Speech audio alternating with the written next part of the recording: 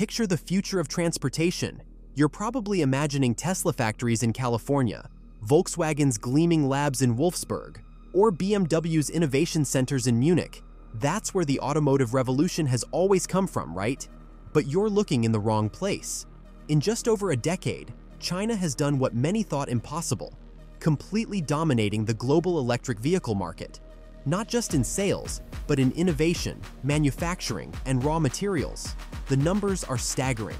Chinese companies now control over 60% of the world's EV battery production. They own nearly 80% of the raw materials needed to make these batteries. And in 2023, they sold more electric cars than Europe, America, and Japan combined. But here's what keeps Western auto executives up at night. This didn't happen by accident. This wasn't just good fortune or cheap labor. This was perhaps the most successful industrial strategy ever executed.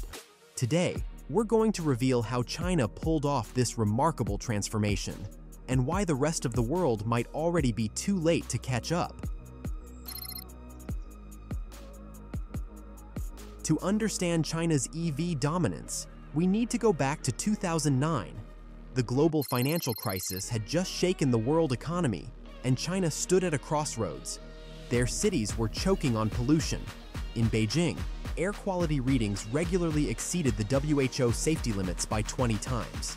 Their dependence on foreign oil had become a national security concern, with over 60% of their oil being imported. And despite being the world's largest auto market, their domestic car brands couldn't compete with foreign manufacturers. Then, in a series of meetings that would reshape the automotive world, China's top officials made a decision that would prove revolutionary. Instead of playing catch-up in traditional cars, they would leapfrog straight to electric vehicles. What followed was unprecedented in scale and ambition. The government poured over $100 billion into the EV industry. They built charging stations at a pace of thousands per day. Local governments offered free parking and special lanes for EVs. And perhaps most crucially, they provided subsidies that could cut the price of an electric vehicle by up to 60%. But this was just the beginning. China understood something that Western automakers didn't. The key to dominating electric vehicles wasn't in the cars themselves, it was in the supply chain. While Tesla made headlines with its Nevada Gigafactory, China quietly built an empire around what powers electric vehicles. The strategy was brilliant in its simplicity. Control the raw materials, control the processing, control the production. Today, the numbers tell a staggering story.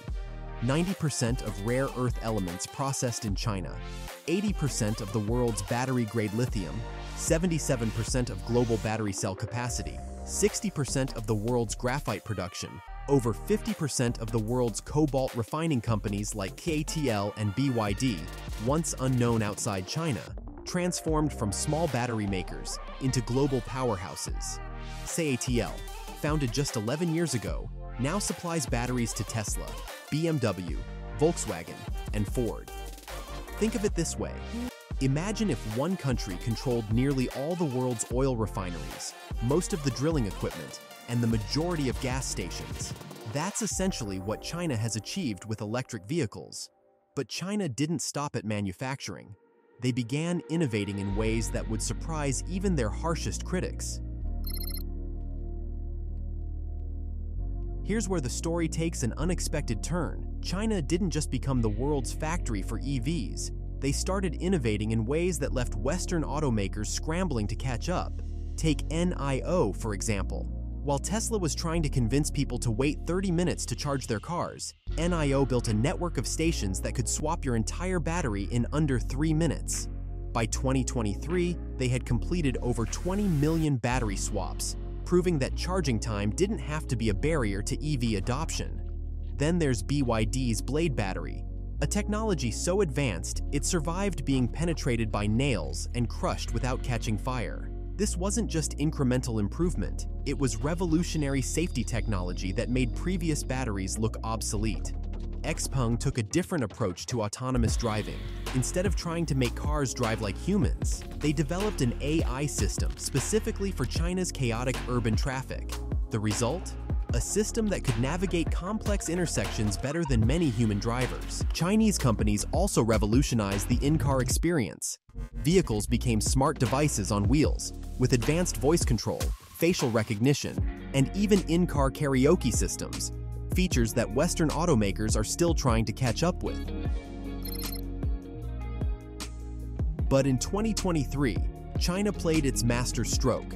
They cracked the code on price. The Hongguang Mini EV, priced at just $10,000, became the world's best-selling electric car. BYD's Seal undercut Tesla's Model 3 by $15,000 while offering similar features. And luxury brands like NIO started competing with Mercedes and BMW on quality, while still maintaining a 20 to 30% price advantage. How did they do it? The answer lies in vertical integration and scale. Companies like BYD make everything from their own chips to their own batteries, cutting out middlemen and reducing costs. Their factories can produce a new car every two minutes, operating 24 hours a day. Western automakers faced an impossible choice either cut prices and lose money, or maintain prices and lose market share.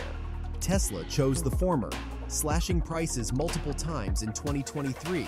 But for many traditional automakers, the math simply didn't work. And now, China is taking this revolution global. In 2023, China achieved something remarkable. They exported more cars than Japan, a milestone that would have seemed impossible just five years ago. Chinese EVs are already dominating markets in Southeast Asia, making significant inroads in Europe and eyeing the American market. But here's what's really surprising. They're not just competing on price anymore. Brands like NIO and XPeng are positioning themselves as premium alternatives to Tesla and European luxury cars, and they're succeeding. In Norway, where electric vehicles dominate the market, Chinese brands captured over 20% of new car sales in 2023. In Australia, MG's electric SUVs became bestsellers. Even in Germany, the heartland of premium automobiles, Chinese EVs are gaining market share. So what happens next? The next decade will likely see Chinese EV makers strengthen their grip on the global market. They have the scale, the supply chain, and increasingly, the brand power to dominate. Western automakers aren't giving up without a fight. The US is pouring billions into domestic battery production. Europe is trying to secure its own supply chains. But they're starting from far behind, and China's lead is growing, not shrinking. By 2025, analysts predict Chinese companies will control over 70% of the world's EV battery production. Their cost advantage is expected to grow to 25 to 30% over Western competitors and their technology lead in key areas like battery chemistry and charging infrastructure continues to expand. But perhaps more importantly, China has shown the world something remarkable. With the right combination of policy, investment, and innovation, it's possible to completely transform an industry in just one generation. The electric vehicle revolution didn't just happen in China, it was made in China. And as the world races toward an electric future, all roads seem to lead east.